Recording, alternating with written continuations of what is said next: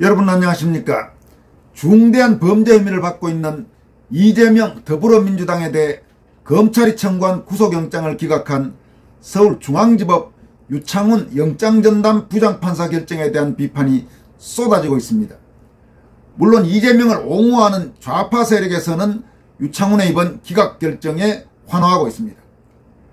말도 안 되는 황당한 궤변으로 이재명 구속영장을 기각한 좌편향 판사 유창훈을 보면서 저런 수준의 인간 판사라면 차라리 AI 판사 제도를 도입하자는 주장까지 나오고 있습니다.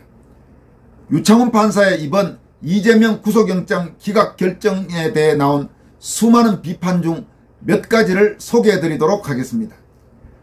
먼저 공안검사 출신 법무장관과 국무총리 제1야당 대표를 지낸 황교안 부방대 대표는 잘못된 기각결정을 내린 법원을 규탄한다라는 제목의 입장문을 통해 유창훈 부장판사의 이번 구속영장 기각결정을 비판했습니다. 황교안 대표는 이재명 민주당 대표의 구속영장이 법원에 의해 기각됐다. 법원이 이재명의 위증교사 혐의가 소명됐다고 하면서도 증거인멸 우려가 없다고 하는 것은 그 말 자체로 모순이다. 위정교사가 바로 증거인멸이기 때문이다 라면서 잘못된 결정을 내린 법원을 규탄한다라고 밝혔습니다. 여러분 그렇습니다. 지금 유창훈의 이번 구속영장 기각 결정문을 보면 참 기가 찹니다. 황 대표가 이야기한 대로 위정교사를 했으면 그게 바로 증거인멸 우려가 없는 겁니다. 그런데 유창훈은 이번에 이재명에 대해서 어 무슨 혐의는 좀 있어 보이지만은 증거인멸 우려가 없다. 또 도주의 우려가 없다. 그리고 또 제1야당 대표다. 뭐 이런저런 황당하게 말도 안 되는 논리를 들어서 구속영장을 기각한 것입니다. 황 대표는 이어서 그리고 검찰은 구속영장이 기각됐다고 해서 수사를 포기하는 조직이 아니다. 죄가 있다고 판단했기 때문에 구속영장을 청구한 것이다. 그런데 기각됐으니 앞으로 이를 보완하기 위해 더욱 악착같이 수사할 것이다. 이재명의 여죄까지 다 찾아내고 증거를 확보해서 옴쭉달싹 하지도 못하게 할 것이다. 구속영장은 신병 확보의 수단일 뿐 진실과 실체를 좌우하는 것은 아니다. 지금 온 국민이 다 감시하고 있으니 이제 그는 도관에 든 쥐다. 이재명은 분명 계속 증거인멸을 시도할 것이라면서 그러나 그러면 그럴수록 죄만 더 두텁게 쌓여갈 것이다 라고 강조했습니다. 황 대표는 마지막으로 그래서 스스로 죄를 인정하라는 것이다. 결국 정리가 승리한다면서 그러나 그 과정에서 정의로워야 할 기관이 정의로운 척하면 안 된다고 경고했습니다. 이 지금 마지막 문장에 정의로워야 할 기관이 정의로운 척하면 안 된다. 이런 경고는 아마 법원 그리고 혹시 검찰이 제대로 추가 수사를 하지 않을 것에 대한 경고를 포함한 그런 부분의 경고라고 생각됩니다. 이어서 도태우 변호사가 내놓은 반응을 한번 살펴보겠습니다. 도태우 변호사는 유창훈 판사의 망국적 판결에 맞서 특단의 조치와 대책이 필요하다고 강조했습니다. 도 변호사는 첫째, 이재명 구속영장 신청을 기각한 유창훈 판사의 결정은 사회를 혼란케 하는 망국적 판결이다. 둘째, 유부장 판사는 피의자의 방어권 보장 필요성 정도와 증거인멸 염려의 정도 등을 종합하면 피의자에 대해 불구속 수사의 원칙을 배제할 정도로 구속의 사유와 필요성이 있다고 보기는 어렵다고 이유를 밝혔다고 한다라고 말하면서 이번 어, 유창훈의 기각 결정과 과거 박근혜 대통령에 대해 법원이 어떤 짓들을 했는지를 비교합니다. 도태호 변호사는 3. 박근혜 전 대통령에 대해 이루어진 주 4회 살인적인 일정의 구속재판과 이재명 더불어민주당 대표가 2년째 불구속으로 수사와 재판을 받으며 검찰 신문조서에도 날인을 거부하여 10시간 조사 내용을 휴지 조각으로 만들어버린 것을 비교해보지 않을 수 없다. 4. 왜 박 전 대통령의 방어권 보장 필요성은 그토록 경시되고 왜 이 대표의 증거인멸 염려는 그토록 무시되었는가라고 밝혔습니다. 그러면서 대한민국 사법부는 정치가 개입된 사건에서 너무나 자의적이고 너무나 권력지형에 좌우된다. 둘 다 형평과 정의라는 법의 일반 원칙에 극단으로 대립된다. 약 7년간 우리 사회를 혼란케 한 근원에 결코 책임에 대해 깊이 고민했다고 볼 수 없는 사법부의 문제가 있다는 생각을 지울 수 없다라고 탄식했습니다. 도 변호사는 이어서 더불어민주당 대표라는 것을 빼고 생각해보자. 이재명 정도의 범죄 전력과 혐의를 지고 관련 공범들이 수두룩 감옥에 있으며 핵심 정인들이 죽고 뻔한 거짓말을 반복했으며 조서 날인을 함부로 거부하고 단식에서 재판을 연기하는데 구속도 되지 않는다면 누구를 구속시킬 수 있다는 것인가? 앞으로 구속되는 이들이 유권 무죄요 무권 유죄라고 대들면 뭐라고 대답하겠는가라고 유창훈 판사를 강도 높게 질타했습니다. 이번 이재명에 대한 구속영장 기각 결정이 도저히 말이 안 되는 게 저런 이재명을 만약 구속하지 못한다면 앞으로 대한민국에서 어떤 사람을 구속할 수 있는지 그 판단 기준이 어떻게 되는지에 대해서 유창훈이라는 황당하기 짝이 없는 좌편향 판사 그야말로 요즘 유행하는 말로 하면 저 유창훈이라는 판세는 말도 안 되는 그런 결정을 내린 것입니다. 그리고도 아마 저 친구는 자기가 뭘 잘못했는지도 모를 겁니다. 그리고 어쩌면 앞으로 나중에 몇몇 판사가 그랬듯이 더불어민주당 공천을 받아서 국회의원이 될지도 모르죠. 뭐 앞으로 어떤 일이 있을지는 모르겠습니다만은 저 따위 인간이 명색이 판사라고 더구나 영장전담 부장판사라고 앉아서 말입니다. 이런 황당하기 짝이 없는 결정을 내렸으니 국민들이 분노하지 않을 수가 없는 것입니다. 도태호 변호사는 이어서 유창훈 판사는 김명수 대법원장 퇴임 후 사법 흑역사에 또 하나의 오명을 더하였다면서 국민의힘 의원들을 함께 질타하지 않을 수 없다. 삼권 분립이란 말 뒤에 숨지 말았어야 한다. 이재명 1인으로 인해 대한민국 헌정 질서가 무참하게 농락당하고 짓밟혀온 세월이 대체 얼마인가? 가짜 단식을 깨부수는 진짜 단식으로 맞선 의원 한 사람이 나오지 않았던 현실을 통탄한다라면서 대한민국 자유헌정이 다시 백척간도에 서게 되었다. 특단의 조치와 대책이 필요하다고 강조했습니다. 다음으로는 MBC 노조, MBC 3노조라고 불리는 MBC 내 여러 노조들 가운데 비좌파 성향 노조에서 발표한 정치 판사의 시대를 개탄한다라는 제목의 성명서를 살펴보도록 하겠습니다. MBC 3노조는 이 성명서에서 위정교사 정황이 있는 피의자 이재명에 대해 야당 대표로서의 방어권을 보장하기 위해 구속영장을 기각했다는 소식에 경악을 금치 못한다. 이번 영장심사를 담당한 유창훈 부장판사는 검찰이 구속의 필요성으로 강조한 위정교사 혐의는 소명된 것으로 보인다고 적시하였다.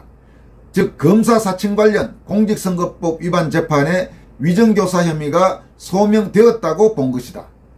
이재명 대표는 2018년 경기도지사 후보 TV 토론에서 자신의 검사 사칭 전과에 대해 PD가 검사를 사칭하는데 제가 옆에 인터뷰 중이었기 때문에 그걸 도와주었다는 누명을 썼다고 허위 사실을 말한 바 있고 이러한 공직선거법 위반 혐의에 대해 검사 사칭 사건 당시에 성남시장 김병량 씨의 비서 김모 씨에게 내가 타깃이었던 거 매우 정치적인 배경이 있었다는 점 등을 좀 이야기해주면 도움이 될 것 같아라고 위증을 교사한 정황이 있다고 구속영장에 나타나 있다라고 밝혔습니다. MBC 3노조는 그러면서 선거에 당선되기 위해 TV토론에서 허위사실을 말하고 이에 대한 선거법 위반 사건에서 무죄를 받도록 위증을 교사해 결국 무죄를 받았다면 이는 대한민국의 선거제도를 농락한 중대 범죄이다. 당선을 위해서 거짓말도 하고 천연덕스럽게 위증을 교사하는 사람이 주도하는 선거라면 앞으로 다가올 총선과 대선이 제대로 민의를 반영할 것이라 누가 장담하겠는가라고 반문했습니다. 이어서 영장기각 사유서에는 또한 대북 송금의 경우 이화영의 진술과 관련해 피의자의 주변 인물에 의한 부적절한 개입을 의심할 만한 정황들이 있다고 적시하고 있으나 이재명 대표가 직접적으로 개입했다는 정황은 없다고 판사가 나서 변호를 하고 있다. 구속 사유는 증거인멸을 하면 구속하는 것이 아니라 증거인멸의 우려가 있으면 구속을 하도록 하고 있다. 재판의 실체적 진실을 훼손할 우려가 소명되면 구속할 수 있는 것이다.